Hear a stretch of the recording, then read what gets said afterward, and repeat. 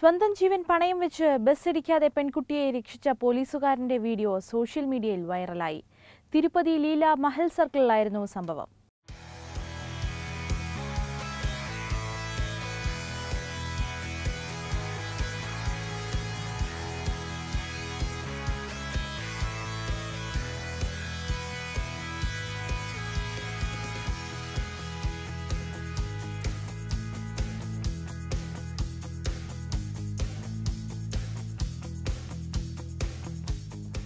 സംഭവത്തിന്റെ C C T V ദൃശ്യങ്ങൾ തിരുപ്പതി പോലീസാണ് സോഷ്യൽ മീഡിയയിൽ പങ്കുവച്ചത്.